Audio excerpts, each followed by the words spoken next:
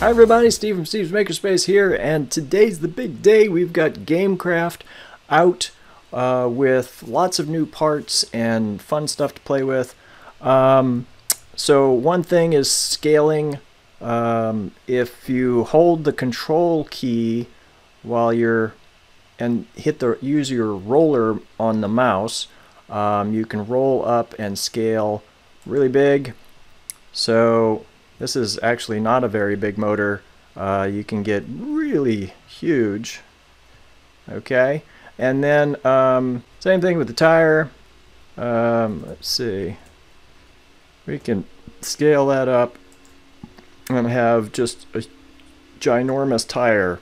Um, so that's pretty cool. But what I want to show you today is a couple of different things. Uh, first, I'm going to spend most of my time on logic uh, concepts.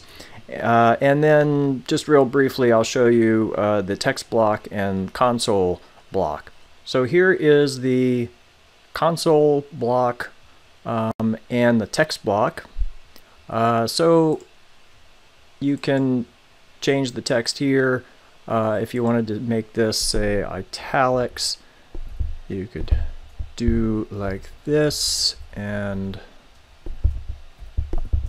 that and that changes it to italics. Um, so here's the console block and you put in right down at the bottom change text block text com block command and then you uh, space then which text block are you changing and then what do you want it to say? And so I've done that here and and I've also uh, we have the trigger block. If an object is entered uh, into the trigger area, uh, then it's going to trigger to, which is this command block, and the command block says put hello here. So let's see how those work together. See, it says general text. Now I do this. Now it says hello. Ta-da! Um, then this command, teleport player relative 10 10 10. So it's going to move my player when I press this button. So let's see how that works. I'll hit 1, and there we go. I was up in the air and I fell down.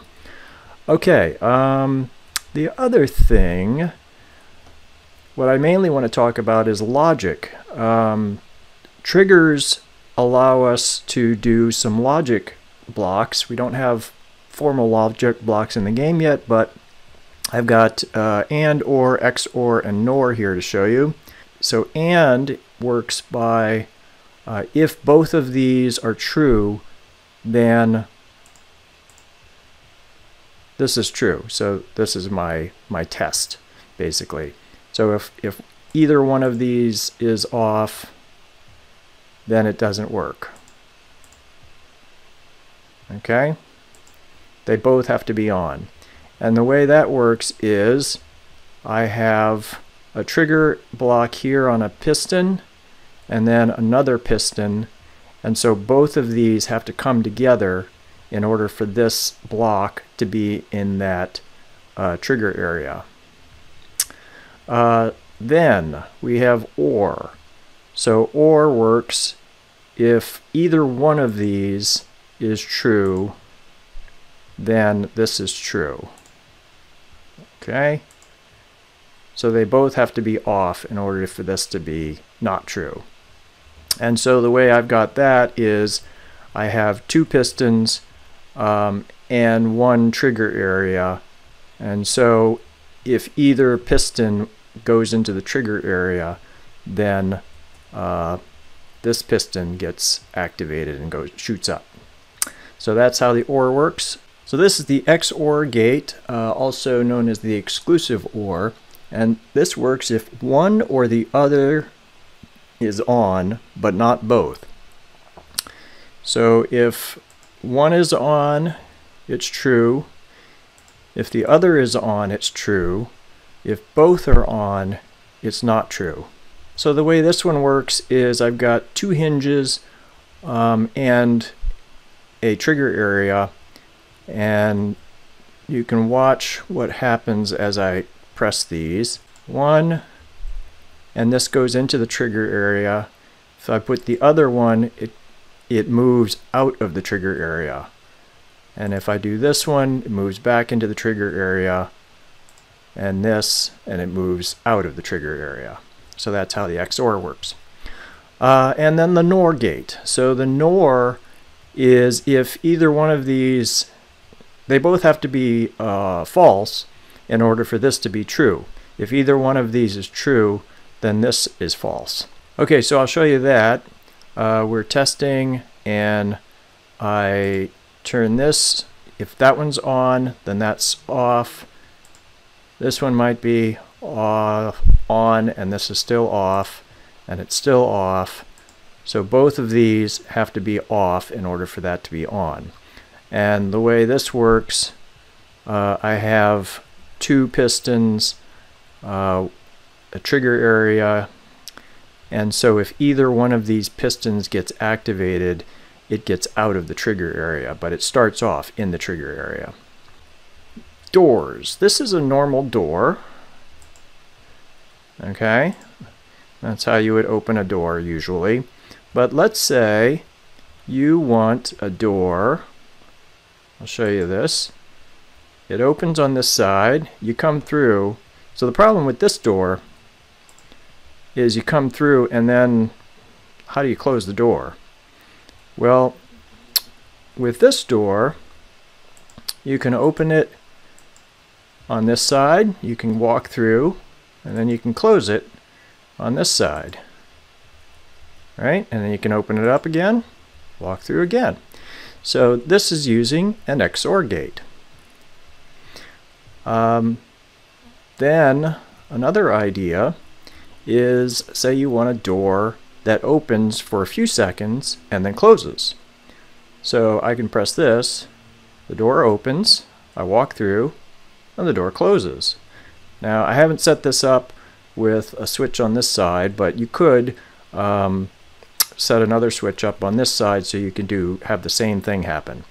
So let's see what happens here. I'll stand over here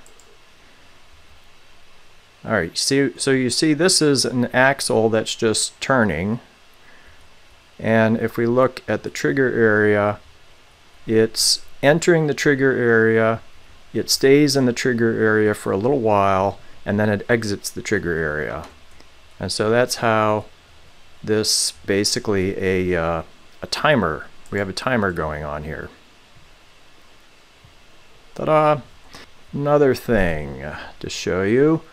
Um, this one I have a motor and a trigger area and the motor is going to go through the trigger, uh, the block is going to go through the trigger area repeatedly.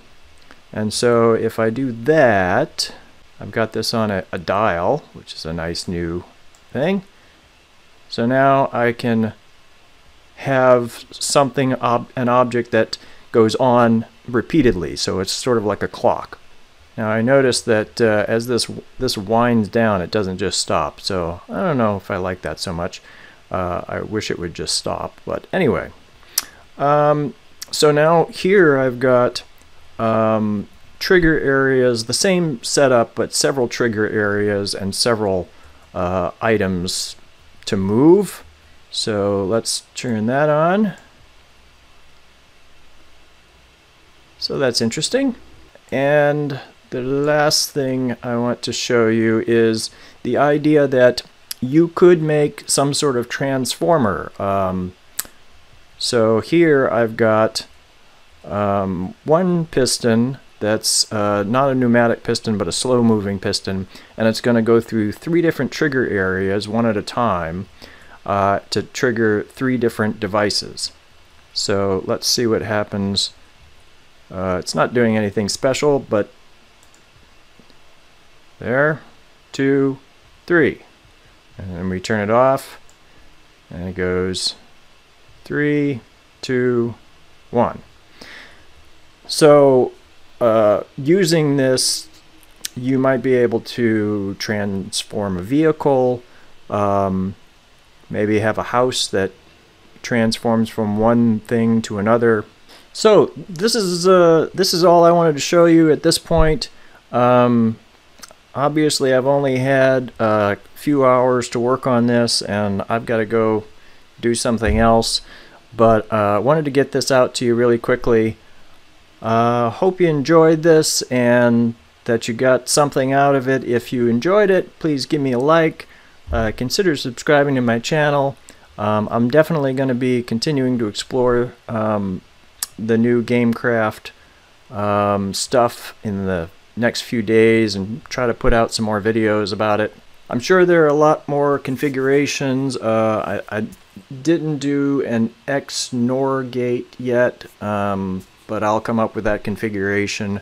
Leave me some comments. Um, I'm sure that this could be done differently. Um, you might have some other ideas of uh, what I could show or if you've got stuff that you want me to see, I'd be happy to take a look at it. That's going to do it for this video. Thank you for watching, and I'll see you in the next one. Bye now. Steve's Makerspace.